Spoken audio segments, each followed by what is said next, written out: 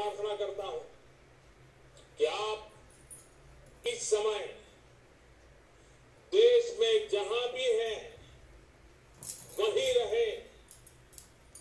अभी के हालात को देखते हुए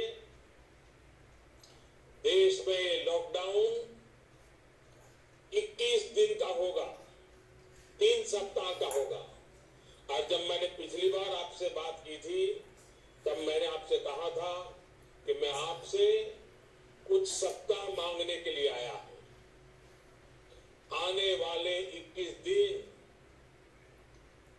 हर नागरिक के लिए, हर परिवार के लिए बहुत ही महत्वपूर्ण है।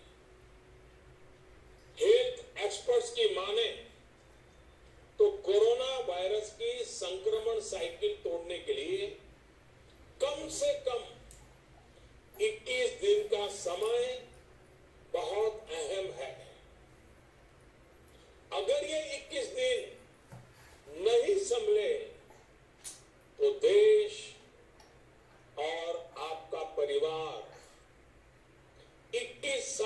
पीछे चला जाएगा।